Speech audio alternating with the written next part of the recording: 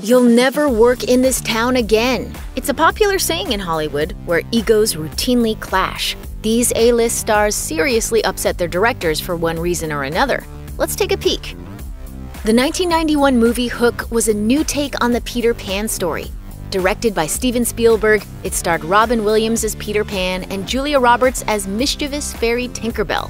While America's Sweetheart was reportedly so difficult to work with, the crew nicknamed her Tinker Hell. Every time someone says, I do not believe in fairies, somewhere there's a fairy that falls down dead. I do not believe in fairies! According to Premiere magazine, Roberts acted rather strangely on set. The article alleges that she was sometimes somber, sometimes at the near edge of hysteria. People magazine reports that she'd lock herself in her trailer for hours. According to Steven Spielberg, a biography, Roberts indulged in some truly divalicious behavior too. One day, she reportedly showed up late and grandly announced, I'm ready now. Spielberg reportedly replied, We're ready when I say we're ready, Julia. The director later told 60 Minutes that it was an unfortunate time for us to work together. And it's worth noting they have not worked together since. Any future Roman Polanski film is unlikely to star Faye Dunaway, the Oscar nominated star of his 1974 film Chinatown. According to the book Easy Riders Raging Bulls, Dunaway once asked Polanski to help her figure out her character, and he replied, Say the words. Your salary is your motivation.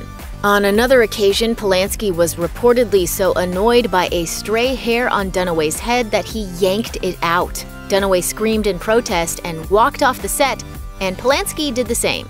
I don't know what you are talking about. I, this is the craziest, the most insane thing. Stop it!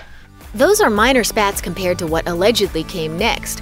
While filming an emotionally charged scene, Polanski reportedly wouldn't let Dunaway run off to use the bathroom. So she reportedly peed into a cup and threw it at him. In Five Easy Decades, a biography of Chinatown co star Jack Nicholson, the actor quipped that Dunaway demonstrated certifiable proof of insanity. The 2010 action comedy Cop Out centers around two mismatched police officers played by Bruce Willis and Tracy Morgan, and this unlikely duo bands together to solve a crime. Hilarity theoretically ensues. Whose car is this? Your mama's. What? You are an angry young man.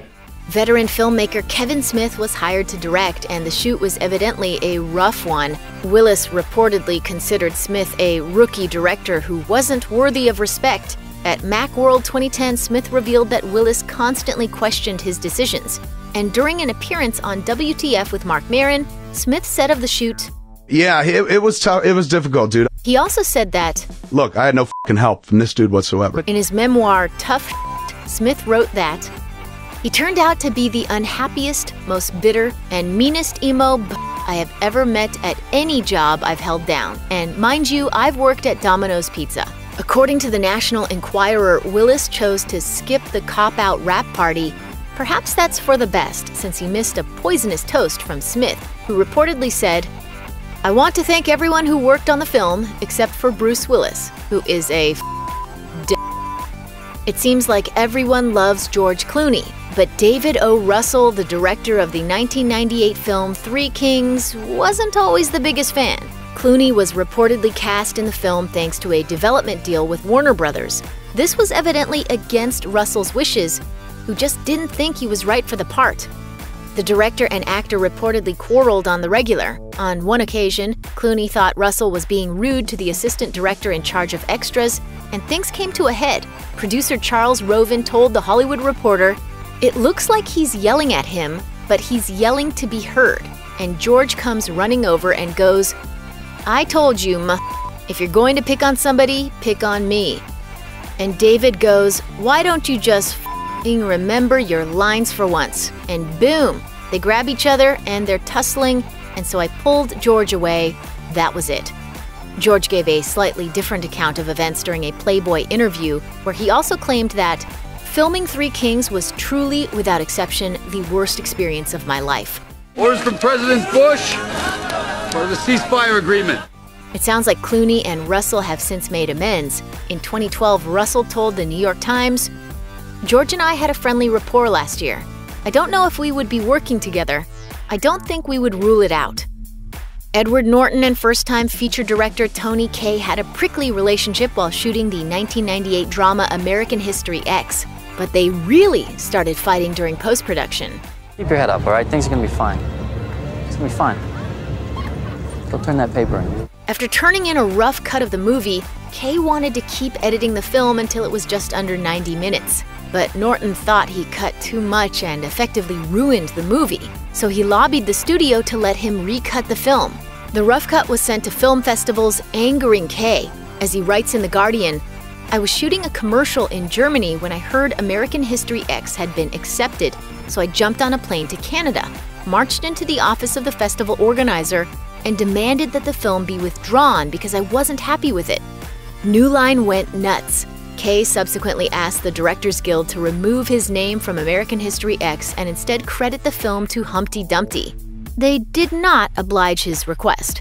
Norton and editor Jerry Greenberg were ultimately allowed to recut the film, and that's the version that was ultimately released to theaters.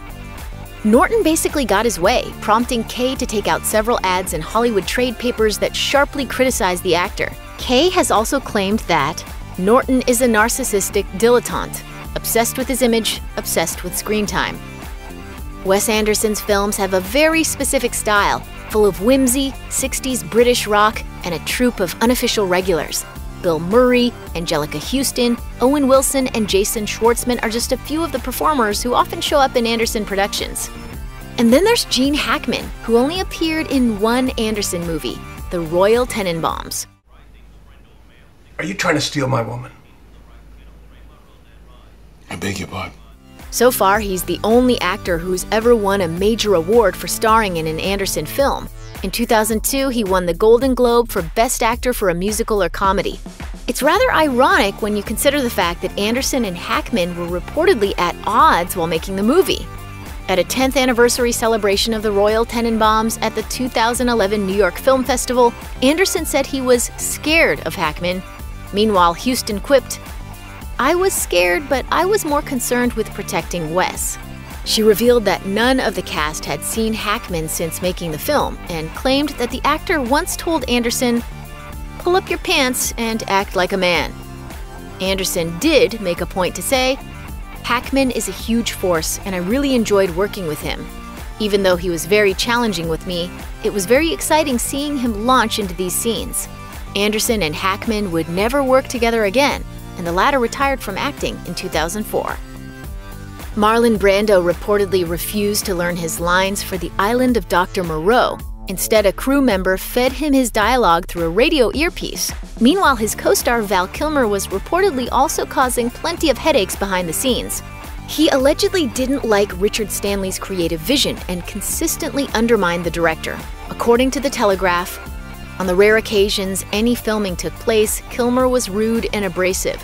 During one scene, he reportedly sat on the ground and refused to stand up. His input certainly contributed to Stanley being fired early on in the shoot. Stanley subsequently told The Telegraph, Val would have never acted up if the people around him hadn't kept saying yes to him. All he had to do was make a demand, and the company would give it to him. Stanley's replacement, John Frankenheimer, was hired partly because his tough reputation made him a good candidate to control Kilmer and Brando, but it didn't work. He was so busy trying to control Brando and Kilmer that he passed off directing duties to the film's animal behavior consultant for a bit. Frankenheimer later told Entertainment Weekly, I don't like Val Kilmer, and I don't want to be associated with him ever again. The film collaborations of Harold Ramis and Bill Murray defined comedy for a generation. Ramis helped create classic Murray comedies like Meatballs, Caddyshack, Stripes, and Ghostbusters. Unfortunately, shooting the 1993 classic comedy Groundhog Day reportedly destroyed the duo's professional and personal relationship. What do you say? What do you say? What do you say? You little brat? You have never thanked me! According to the book Ghostbusters' Daughter Life with My Dad, Harold Ramis by Violet Ramis Steele, Murray was having some problems in his personal life at the time. She writes that he and my dad were not seeing eye to eye on the tone of the film. During one argument, Ramis reportedly grabbed Murray by the collar and threw him against the wall. After production on Groundhog Day ended, Murray and Ramis didn't speak for more than 20 years. Ramis told the AV Club in 2009 I've had many dreams about him, that we're friends again. The filmmaker reportedly tried to get in touch with Murray over the years, but to no avail. Fortunately, it sounds like Murray ultimately made amends. Shortly before Ramis's death in 2014, Murray showed up at his house. Steele writes that Murray arrived unannounced at 7 a.m. with a police escort and a dozen donuts. They spent a couple hours together, laughed a little, and made their peace. In 1989 and 1990, John Hughes wrote back to back Christmas comedies National Lampoon's Christmas Vacation and Home Alone. Hughes produced Christmas Vacation, offering directing duties to Chris Columbus. In 2015, Columbus told Chicago Magazine, I love Christmas, so to do a Christmas comedy had been a dream. Before production began, Columbus reportedly went out to dinner with Chevy Chase, the actor who played Clark Griswold in the first two vacation films, a role he would reprise for Christmas Vacation. It's, it's a, a one year membership in the Jelly of the Month Club. Oh, God.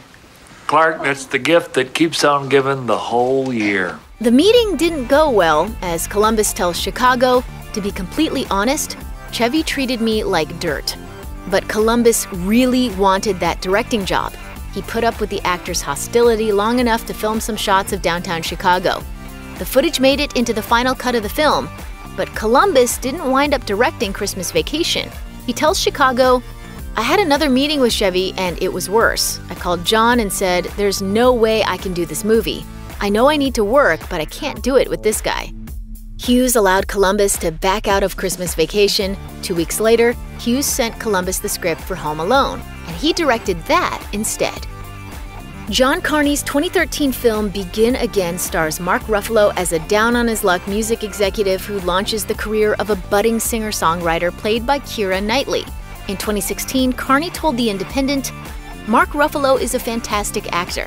Alas, his praise didn't extend to Knightley. In fact, his comments about the actress were downright rude. At one point, he says, I learned that I'll never make a film with supermodels again. Keira's thing is to hide who you are and I don't think you can be an actor and do that.